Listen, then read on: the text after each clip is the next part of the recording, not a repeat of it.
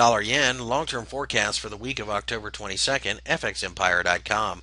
The dollar yen pair shone straight up for the week as we continue to bounce around in the uh, previous consolidation area that we have been in for quite some time.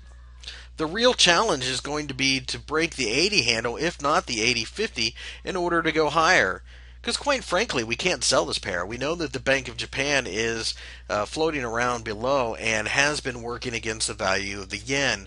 This pair tends to follow the yields of 10 year treasuries in relation to their Japanese 10 year JGB counterparts, uh, going in favor of whichever, whichever countries' yields offer more. Right now, both are extraordinarily low, so that's why the low volatility. However, the move could be coming, and if we get above 80.50, we will be buying massively. Again, we will not sell a breakdown because we think that only invites central bank intervention out of Tokyo.